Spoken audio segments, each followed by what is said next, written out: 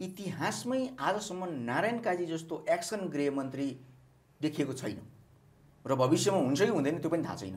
यस्तै हो भने रविबाट धेरै आशा गरेका थिए। रवि नै एक्सनमा जान सकेनन्। र नसक्दै गर्दा अर्को झन् के एक्सनमा आउला? त्यत्रो स्टन्डबाजी गरेर आएको नेताले त केही गर्न सकेन? एक्सनमा जान सकेन भने अरूबाट के आशा होला? आजसम्मको भन्दैछु मैले। आजसम्मको इतिहासमा नारायण काजी जस्तो जस्तो एक्सन गृहमन्त्री कुनै पनि थिएन। र भविष्यमा हुन्छ कि हुँदैन त्यो भविष्यको गर्भभित्र छ त्यसलाई त नभनौँ। तर आजसम्मको एक्सन गृहमन्त्री चाहिँ हो नारायण काजी। रविजी, तपाईँले देखाउनु भएको आत्मविश्वासलाई सलाम। तर तपाईँले देखाउनु भएको आत्मविश्वासको आवाज मात्रै तपाईँले चाहिँ नि मिडियामा प्रस्तुत गर्नुभएको हो भने चाहिँ त्यो तपाईँका लागि घातक हुनेछ। भनेको भनेको गृहमन्त्रीले भन्दा निकै अगाडि दुर्गा प्रसाईले लोकेसन ट्र्याक गरिसक्नु होइन? मैले उहाँले भन्नुभयो अथवा ट्र्याक गरेर भन्नुभयो अनुमान गरेर भन्नुभयो त्यो उहाँलाई थाहा होला।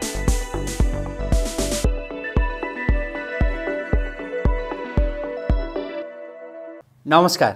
आदरणीय दर्शकवृन्द आजको प्रेसको यो अर्को एउटा भिडियो संवादमा यहाँहरूलाई धेरै स्वागत छ। म रोहित भण्डारी दर्शकवृन्द राष्ट्रिय स्वतन्त्र पार्टी स्थापनाको दुई वर्ष पुरा भएको छ। दुई वर्ष पुरा भएको अवसरमा राष्ट्रिय स्वतन्त्र पार्टीले पार्टी कार्यालयमा चियापान समारोहको आयोजना गर्यो। चियापान समारोहमा विभिन्न पार्टीका प्रमुखहरू त्यहाँ पुग्नुभयो। तर चियापान समारोह सकिएको दुई दिन पछाडि संसदमा गृहमन्त्री रवि लामी छानेका विषयमा गम्भीर प्रश्न प्रमुख प्रतिपक्षी दल नेपाली काङ्ग्रेसले उठाएको छ। नेपाली काङ्ग्रेसका महामन्त्री विश्वप्रकाश शर्माले जीवी राई पक्राउको विषयमा गृहमन्त्री रवि लामिछानेको नियतका माथि उहाँले शङ्का मात्रै गर्नुभएको छैन। कि उहाँले संसदमा प्रश्नसँग भन्नुभयो कि कतै भगाउने यो प्रपञ्च त होइन भनेर। जीवी राईलाई पक्राउ गर्ने मनसायका साथ गृहमन्त्री रवि लामिछानेले जीवी राई मलेसियामा रहेको र त्यहाँका गृहमन्त्रीसँग आफ्नो कुरा भएको लोकेसन ट्र्याक भएको भनेर उहाँले भन्नुभएको थियो होला। या साँच्चै संसदमा नेपाली काङ्ग्रेसका महामन्त्री विश्वप्रकाश शर्माले भने जस्तै भगाउने कुनै उद्देश्यका साथ चाहिँ यसो भन्नुभएको थियो होला। गृहमन्त्री रवि लामी छानेको अभिव्यक्ति रासोपाका मन्त्रीहरूको पछिल्ला दिनका काम कारबाही र सिङ्गो रासोपाको भविष्यका विषयमा केन्द्रित रहेर आजको यो संवादमा हामी विस्तृत कुराकानी गर्दैछौँ। यसका लागि यति बेला हामीसँग हुनुहुन्छ विश्लेषक राजेन्द्र पाठक। उहाँलाई म स्वागत गर्छु। स्वागत छ हस् धन्यवाद भण्डारी सर आराम हुनुहुन्छ। ठिक छ। जीवी राईको विषयमा म एकछिनमा प्रवेश गर्छु। त्योभन्दा अगाडि चाहिँ यहाँलाई मैले सोधेँ कि जस्तो राष्ट्रिय स्वतन्त्र पार्टीले स्थापनाका दुई वर्षको अवसरमा जुन चियापान समारोह गर्यो त्यहाँ ठुला पार्टीका ठुला नेताहरू पनि पुग्नु भएको थियो। रासोपाको दुई वर्षलाई चाहिँ नि तपाईँले चाहिँ कुन रूपमा हेर्नुभयो? रासोपा उकालो लाग्दैछ कि उसको यात्रा चाहिँ ओह्रालोतिर छ? धन्यवाद तपाईँले समसामयिक प्रश्न गर्नुभएको छ। राजसभाको सुरुवाती अवस्था त असाध्यै राम्रो थियो र हामी सबैलाई राम्रो लागेकै हो। आम जनताले पनि मन पराएकै हुन्। त्यस कारणले सुरुवाती अवस्थामा जसरी राप्रपा एक किसिमको पिक उसमा पुग्न सफल भयो त्यसैको परिणाम हो बाह्र हजार मत बाह्र लाख मत होइन? अब एक्काइस बाइसवटा सिट त त्यसैको परिणाम हो। अब जनताले यति धेरै आशा गरेका थिए राष्ट्रिय स्वतन्त्र पार्टीबाट कि राष्ट्रिय स्वतन्त्र पार्टी भनेको नितान्त रूपमा एउटा वैकल्पिक पार्टी हो। त्यो राष्ट्रिय पार्टी पनि हो। त्यसपछि आएर राष्ट्रिय स्वतन्त्र पार्टीका नेताहरू युवा अवस्थामा पनि छन्। तिनले एउटा युवा रगतले युवा क्षमताले योग्यताले चाहिँ नि देशलाई नयाँ त्राण प्राण भर्नेछ भन्ने विश्वास थियो जनताको अब हामीले त्यति बेला पनि भनेका थियौँ कि राष्ट्रिय स्वतन्त्र पार्टी सरकारमा जाँदै गर्दा तपाईँहरू सरकारमा जानभन्दा विपक्षमा बस्नु तपाईँहरूको लागि उपयुक्त हुन्छ। र आगामी निर्वाचन पनि तपाईँका पक्षमा हुने सम्भावना विपक्षमै रहँदा मात्रै सम्भव छ। र पक्षमा जानुभयो अथवा सरकार पक्षमा तपाईँहरू जानुभयो भने कहीँ न कहीँ यो दल दलले तपाईँहरूलाई कतै फसाउन पनि सक्छ। भन्दै गर्दा उहाँहरूको जवाब के थियो भने होइन हामी दल दलमै छिरेर नि सफाइ गर्छौँ। पोखरी सफा गर्नु छ भने त पोखरीभित्रै छिर्नु पऱ्यो नि। पोखरीको छिची दूर दूर गरेर त सम्भव छैन भन्ने जवाफ उहाँहरूले दिए दिएर जानुभएको थियो। र पहिलोचोटि सरकारमा जाँदाखेरिमा धेरै केही गर्न सक्नु भएन। अलिकति गर्नुहुन्छ कि भन्ने विश्वास अलि पछिल्लो सरकारमा पस्दै गर्दासम्म थियो। तर अब यो पछिल्लो सरकारको पनि सय दिन मनाइसक्दाखेरिमा पनि एउटा यो देशको आर्थिक विसङ्गतिका कर्णधार मानिएका जीवी राई जसलाई चाहिँ नि यो सहकारी प्रकरणको ठुलो महाठगको रूपमा मानिन्छ। ती जीवी राईलाई आजसम्म पक्रिनको लागि उहाँले डे वानदेखि नै म जीवी राईलाई चौबिस घन्टाभित्र पक्रिन्छु अथवा एक हप्ताभित्र पक्रिन्छु पन्ध्र दिनभित्र पक्रिन्छु भन्दै भन्दै गर्दाखेरिमा सय दिन पुर्याउनु भयो अब अहिले चाहिँ उहाँले आफ्नो चियापान कार्यक्रममा चाहिँ नि उहाँले लोकेसन ट्र्याक भएको छ लोकेसन ट्र्याक भएको। मलेसियामा भनेर लोकेसन ट्र्याक त यति बेला त्योभन्दा। अगाडि नै लोकेसन ट्र्याककै कुरा गर्ने हो भने त त्योभन्दा अगाडि त पर्साईजीले भनिसक्नु भएको छ त जीवीलाई त चाहिँ नि उहाँ मलेसियामा फलानाका घरमा फलानाका अपार्टमेन्टमा बस्नुहुन्छ भनेर त पर्साईजीले भनिसक्नु भएको थियो। दुर्गा प्रसाद। भनेपछि त अनि भनेको भनेको गृहमन्त्रीले भन्दा निकै अगाडि दुर्गा प्रसाईले लोकेसन ट्र्याक गरिसक्नु रहेछ अनि मैले उहाँले भन्नुभयो अथवा ट्र्याक गरेर भन्नुभयो अनुमान गरेर भन्नुभयो त्यो उहाँलाई थाहा होला। तर त तिन महिना अगाडि त उहाँले भनिसक्नु भएको थियो। भनेपछि अब उहाँलाई गृहमन्त्री जस्तो एउटा उच्चतम तहमा बसेर र त्यो उच्चतम टेक्नोलोजीबाट संसारका कुनै पनि अपराधीलाई पत्ता लगाउन ठाउँ सक्ने स्थानमा बस्दै गर्दा चाहिँ सय दिन चाहिँ उहाँलाई लोकेसन ट्र्याक गर्ने लाग्यो हेर्नुहोस् है। अब त्यो सबै सिस्टम मिलाउनलाई अब उहाँलाई अर्को सय दिन लाग्ने होला। अब पक्रेरै ल्याउन त अर्को दुई सय दिन लाग्नु पनि सक्छ।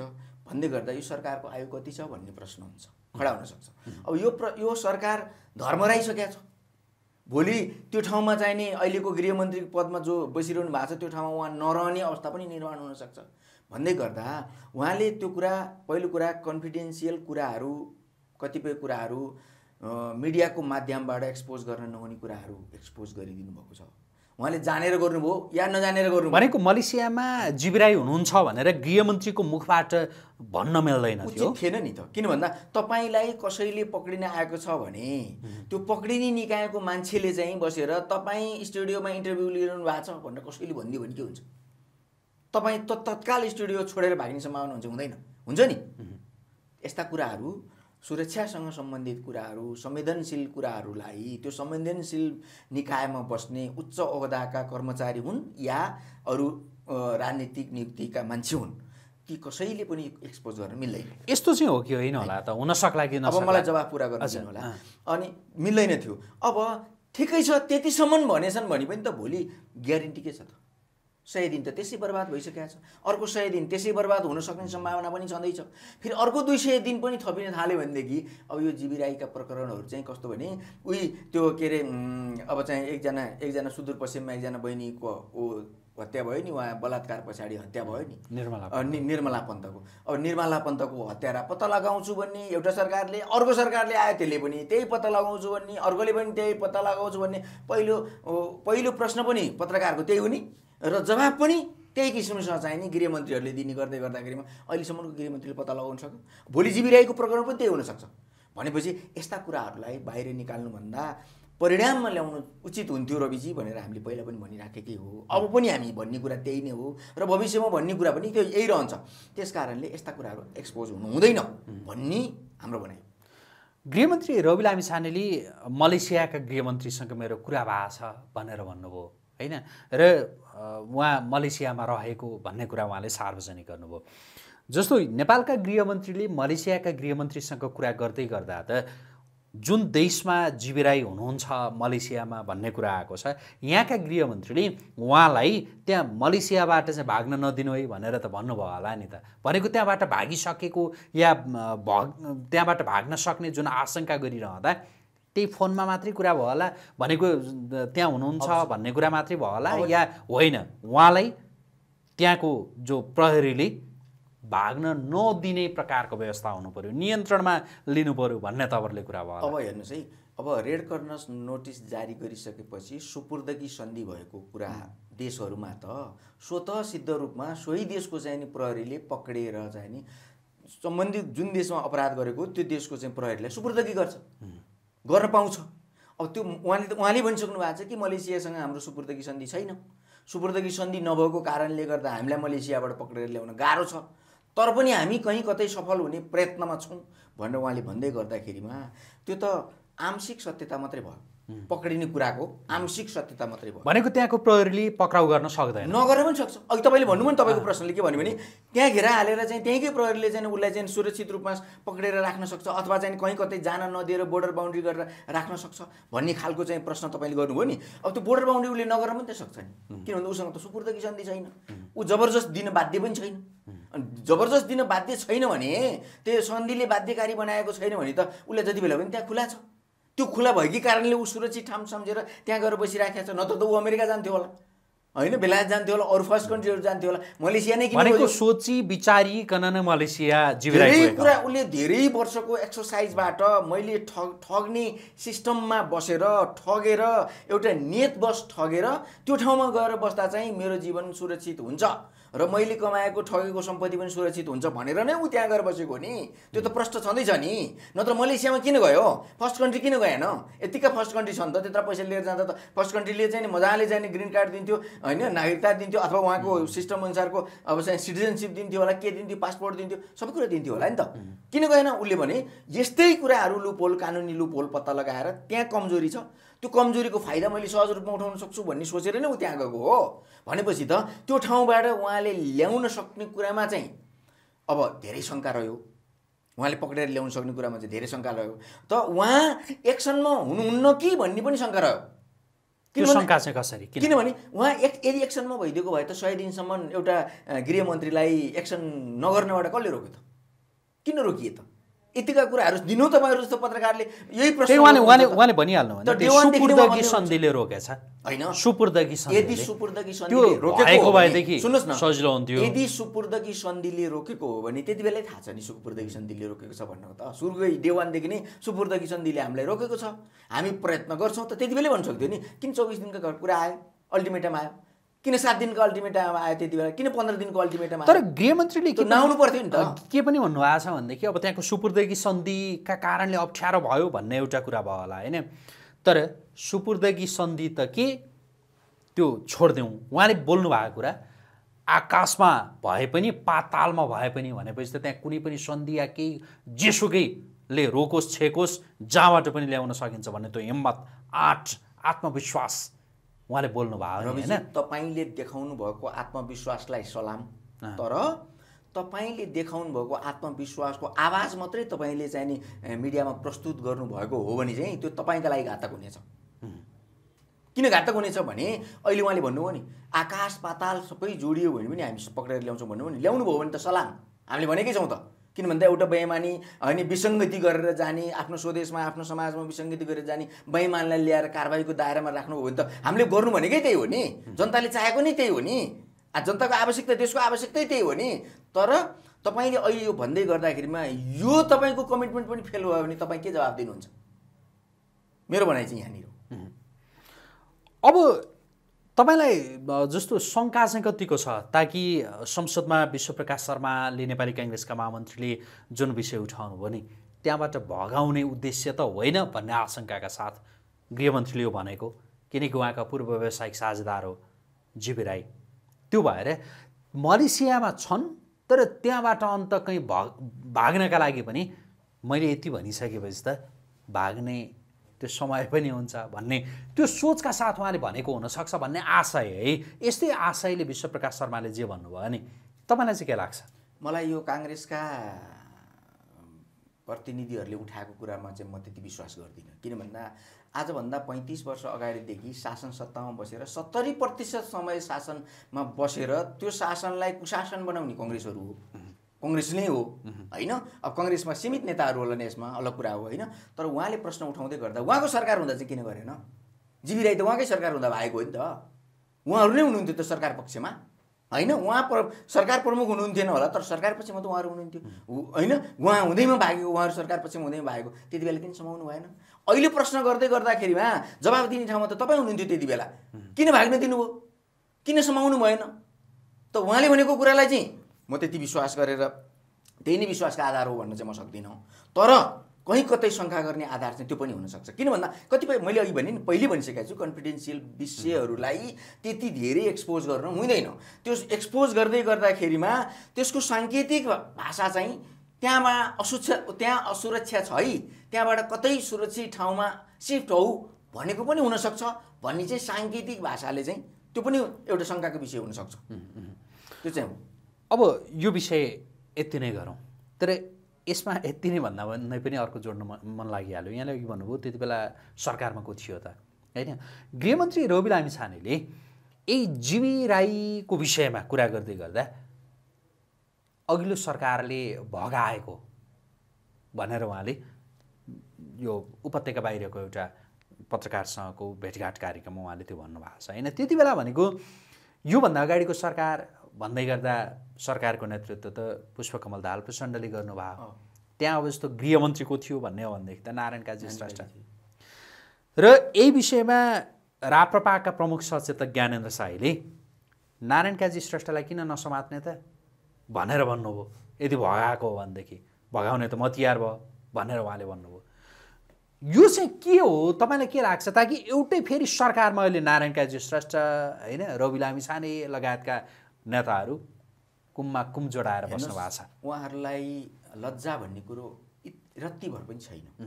उहाँहरू सवालका लागि सवाल गर्नुहुन्छ प्रश्नका लागि प्रश्न गर्नुहुन्छ र तपाईँ चाहिँ नि आरोप प्रत्यारोपको लागि आरोप प्रत्यारोप मात्रै गर्नुहुन्छ भन्ने कुराको यो ज्वलन्त उदाहरण किन भन्दा मैले अघि भने नि सरकारमा समर्थक रहेको पार्टीले चाहे जोसुकै गृहमन्त्री होस् चाहे जोसुकै प्रधानमन्त्री होस् होइन सत्ता साझेदार भइसकेपछि त त्यसको जिम्मेवार त ऊ हुनुपर्छ कि पर्दैन। कङ्ग्रेस जिम्मेवार त हो नि। वास्तवमा। वास्तवमा कङ्ग्रेस किन जिम्मेवार थिएन? यदि होइन थियो भने कङ्ग्रेसले त्यति बेलै यो देशको बदमासलाई भगाउनेलाई हामी सरकारमा विश्वासका साथ राखी लैरहन सक्दैनौँ। हामी विश्वासको मत फिर्ता लिन्छौँ अथवा हामी सरकारबाट बाहिरिन्छौँ भनेर भन्न पनि त सक्थ्यो नि। यदि कङ्ग्रेसले चाहेको भए कङ्ग्रेस यदि शुद्ध हुन्थ्यो भने त्यस कारणले कङ्ग्रेसमा पनि शुद्धता छैन। एक नम्बर। अर्को नम्बर अहिले सरकारको नेतृत्व गरिरहनु भएको पुष्पकमल दाहाल प्रचण्ड र उहाँको दल पनि शुद्ध छैन।